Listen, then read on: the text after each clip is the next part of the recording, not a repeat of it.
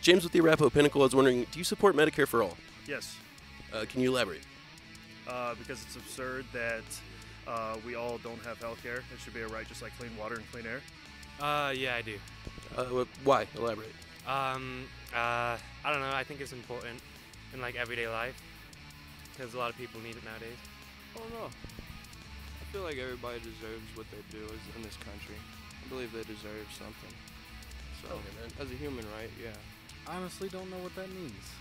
So, like, uh, socialized medicine, like everyone pays in, everyone gets health care at the point of service for free.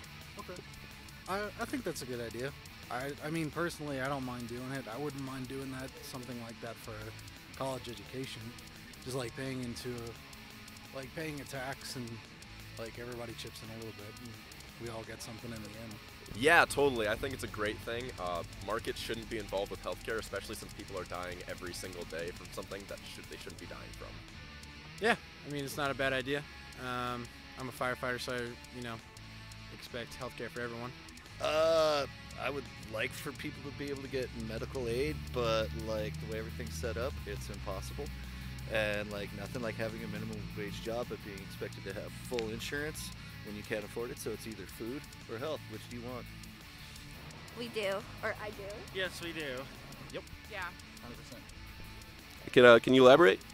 Uh, it's just uh, I grew up over in Europe, uh, Germany. Uh, I always thought healthcare was supposed to be a human right, not something people should profit off.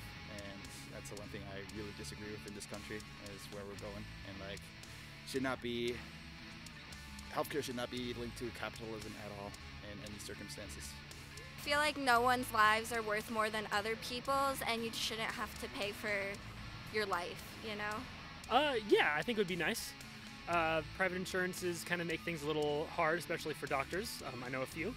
And I think that just kind of a one basic overall for everyone would help the system a lot. Thank you. Anything else you'd like to add? Uh, yes, um, subscribe to the Arapahoe Pinnacle. Uh, they're great.